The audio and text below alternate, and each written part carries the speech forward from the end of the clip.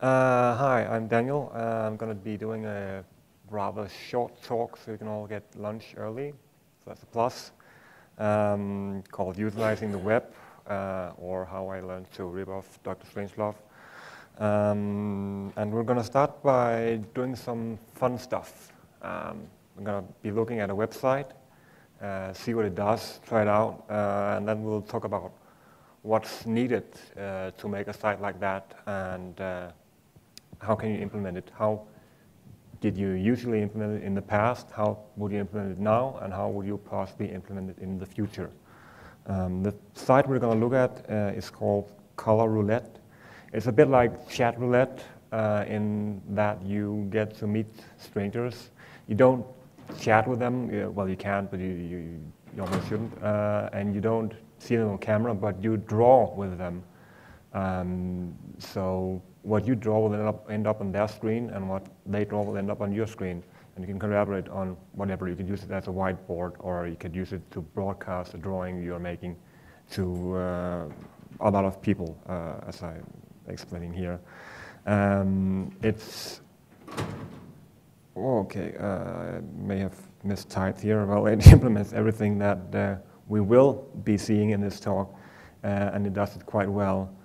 Um, so uh, without further ado, let's go to this address. Uh, you can click on the collaborate button and enter the ID ApacheCon. Uh, and let's see if it works. What? Yeah, yes, it works with phones and tablets as well. Uh, so I'm just going to go see if I can get the mouse here. There we go. Collaborate. Enter. ApacheCon. And I'll see that someone has already drawn something. And uh, if anyone wants to join in, they can draw on this, and I'll just do. I can't see what I'm doing. You see, someone is writing something. Uh, the Wi-Fi is making it a bit uh, jumpy, but uh, I think it works. And I can go in and select the color and make a square down here. Whoops. Or I can write some text. There you go, very small. Uh, and it's uh, scales, so it's a scalable vector graphics list. Uh, so, and you can see people joining and people leaving. The I can't see it. I have to go here. Uh, we have eight people in this room online in this drawing right now, and you can see it lighting up when people are drawing something who's uh, drawing. Um, so that's quite a fun site. Uh, let me just get the mouse back here. Uh, okay, I'll give you a couple of seconds to draw something.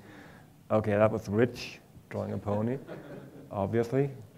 Um, so that's uh, something you can you can do, uh, where's my mouse? There we go, there we go. And you can chat with other people as well down here. Uh,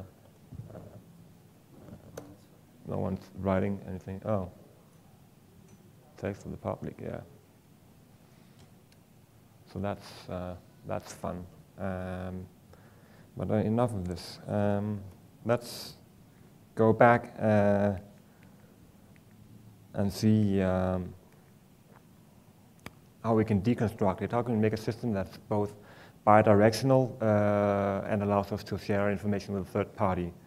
Uh, how would we traditionally do this uh, in the, the old HTTP uh, 1.0 days or whatever? Um, and how should we do, it, do this uh, with modern technology? Um, so what we need is a method of receiving the data from the client when you draw something, when you write something in the chat, uh, we need a me method of sending live data back to the client when someone else does something, or when you do something, it, it needs to go to the to the other people watching the the, the online drawing. Uh, we need a method of utilizing the live data on the client side, that it's receiving it in, in some transfer protocol that we may have invented or not.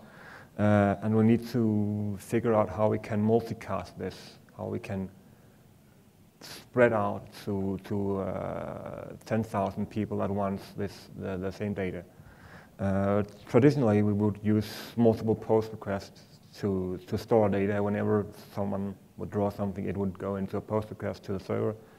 The server would then store it in an SQL database uh, just for the kicks. Um, and we would possibly use uh, long polling with perhaps chunked encoding to receive the live data. Uh, but this has some, some issues with it. Uh, one of the issues is that multiple post requests, it's quite cumbersome, as you can imagine. It has a um, relatively high latency because every time you do a post request, you have to reinitialize the request, you have to read the request, you have to initialize the whatever virtual machine you're doing your scripts on, you have to establish a database connection, and so on and so on and so on. Uh, so you need far more processing power and processing time than you, will, you do with modern technologies. Um, SQL is slow, and uh, I, I haven't really figured out how to do pub/sub from SQL because you'd, you'd have to constantly select for changes, uh, figure out how to select the changes, have to select the changes, go through all the tables, all the, the rows in the database um, to get the latest stuff um, and figure out tons of ways to, to actually get this distributed in, in the right way to people. Uh, and thirdly, you have to store it as a table, which is not ideal for, for everything. If you want to invent a new column, you can't just, well, you can do that, but you can't just do it on the fly. Um, so for me personally, I, I, like to store stuff in, in, in, JSON objects where I can just add or delete uh, columns as I see fit. Um, long polling with chunked encoding, it's, again, it's cumbersome. Uh, you would probably have to create your own transfer scheme or scheme. Um, and it may or may not work. Uh, I don't know if you remember the old IRC over HTTP clients that will send uh, chunks of JavaScript in, in a small hidden frame that will then do document or window dot write ln uh, whatever line was being uh, pushed. Um, but you, you can't really guarantee that the browser will execute, for example, a JavaScript that is sent as chunked encoding. It might wait until the chunked encoding is finished, sending everything, and then do it all at once, or it might not do it at all. Um, so instead, you could use the, the XML HTTP request. Um, but again, if you go back to the, the post request fudge, it's cumbersome, it has a high latency, even with Keep Alive. Uh, and you need quite a lot of processing power for that. Um, and again, you, you can end up with uh, quite a lot of keep alive connections that way if you do tons of XML HTTP requests. So that's not ideal either. Um, so the modern solution would be to use WebSockets for transferring data and a NoSQL backend with a pub/sub model. Um, and hopefully some exist existing client uh, APIs on the client side for dealing with this uh, transfer mechanism. Um, what I did for, for the color roulette was, was using uh, WebSockets via Modlua, because that's my little baby and the HTTP server project. Um, and it's uh, also the only module, well, almost the only module we have that supports WebSocket. We have a proxy module as well. Uh, but then you'd have to implement uh, a backend for, for that as well. I use uh, Redis as a backend for storing the, the, the, JSON objects because it supports both. You can store stuff as a list and you can listen as a pub/sub. Uh, I should explain pub/sub means publisher subscriber. Uh, it's a mechanism where you can subscribe to some form of data and others can publish to that uh, data ID and it will be broadcast to you. Uh, and that's something you can do in, in Redis. Um, so that's very nice to have. Um, WebSockets, they're described in RFC 6455 if you want to read all about it. Um, it's as close as you can come to the traditional two-way TCP uh, communication um, and still use it within the, the HTTP server. Um, and there are two big advantages. The first is that messages are already packed as frames as a, a data transferring protocol in, in WebSockets for, for transferring data and how to pack it up like a, uh, just like, a, for example, a zip file or a tar file, file um, and send it and, and, unpack it on the other side. Um, and there are existing JavaScript APIs for this. Uh, it's, as I'll show, it's real easy to, to implement this in JavaScript, and it's real easy on the server side as well. Um, how it works is the HTTP server receives uh, just a normal HTTP request uh, with an upgrade request header. Um, and then the server sends a, a 101 back, which means upgrade succeeded. Um, and the connection gets upgraded, and, and then you can send some frames back and forth and, and have a great time. And this is how a request and a response uh, can look like. As you can see, the request, the client sends an, an upgrade request for WebSockets, uh, and the server responds that it's switching protocols and it's switching to WebSockets.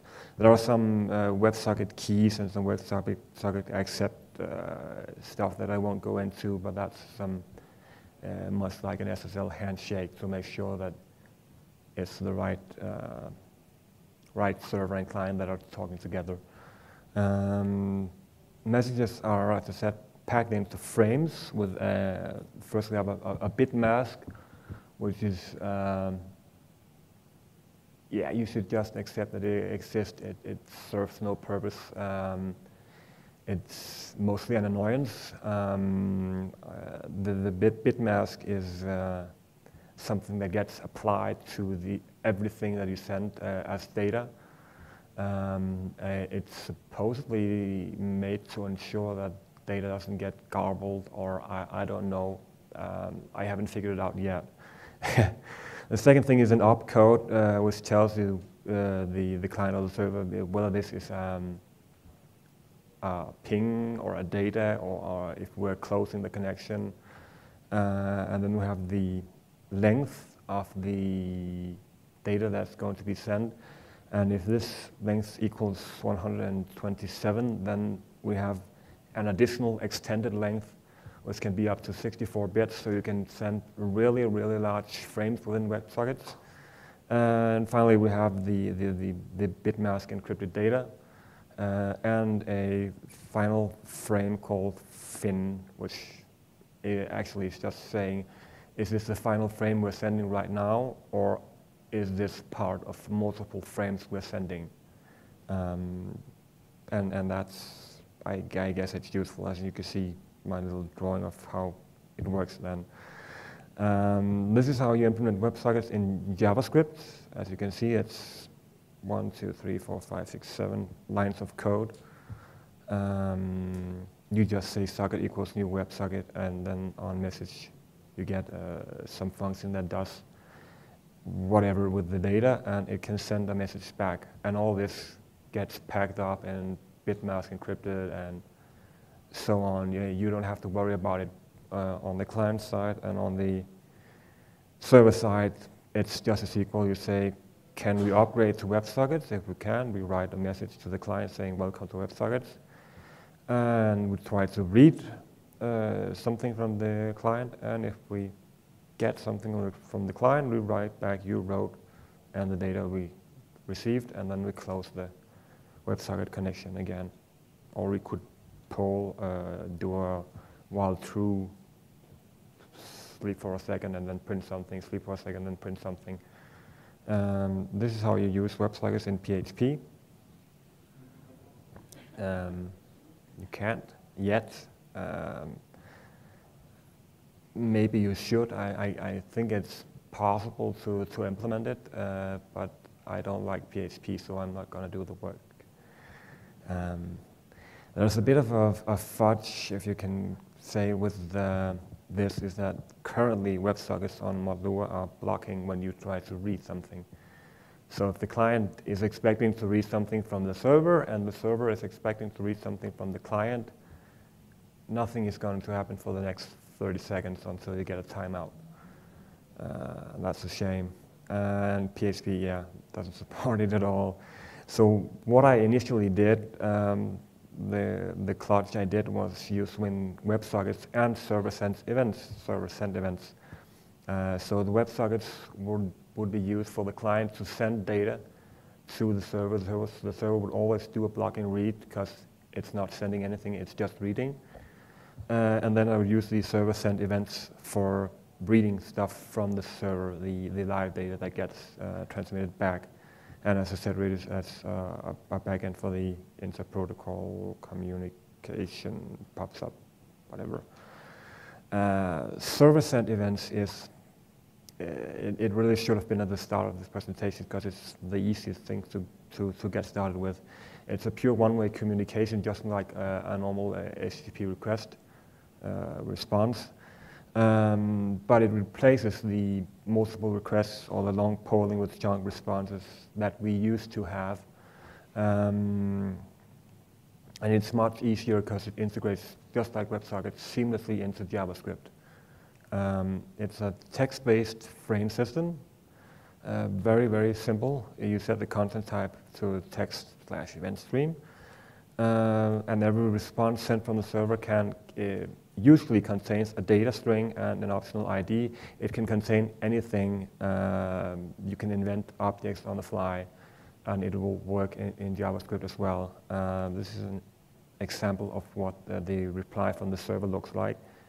So I'm saying ID equals 1, 2, 3, 4, and data equals some JSON string, and then two new lines, and I can send another thing the, 1, 2, 3, 5 data equals some other JSON objects. And I can make up uh, an, a new object called foo. Um, and this is how you can do it in PHP, for example. Um, as you can see, it's, it's very simple. Uh, for each second you send a JSON object that says the current time is this and this. Um, and in your browser, you will do this. Very simple. You just two lines of code and you have server-sent events implemented in your browser. You don't need to invent some way of transferring chunk encoding and decrypting it and whatever. You just uh, use the e.data, which is the, the data string that was sent before, or I could use e.foo to get the foo string that I sent, or e.id, or whatever. Um, so it's, it's very simple to use. There are some caveats to, to what I'm doing, uh, and that's you need two permanent threads um, to do this coloring roulette stuff. Uh, eventually, you're going to run out of threads if you have 10,000 people trying to um, use this, this service at once. Um, use double the memory, double the DB connections, um, so it's basically half as good as it should be, um, but it's not bad. But uh, it, it, could be better. So my, I think it's my final slide now. Uh, the optimal solution it uh, would be to use mod proxy WS tunnel uh, with a proper WebSocket backend, so you can use bidirectional communication probably from uh, via WebSockets, or you could um, we could hope that 2.4.10 gets released soon because it has the, I forgot to backport it in 2.4.9, I'm sorry. Uh, but it's there now. We have a peek mechanism in ModLua so we can see is the client sending anything, and if it isn't, we can continue to write to it uh, so we don't get the blocking reads. Uh, does it say click to add title? No. Um, finally, uh, if you can just watch this for about 10 minutes and feel refreshed and wiser. Um, unfortunately, that's the end. So, any questions, Eric? Is the WSP enough, just adding the WSP enough to do your example one? Yeah, it is.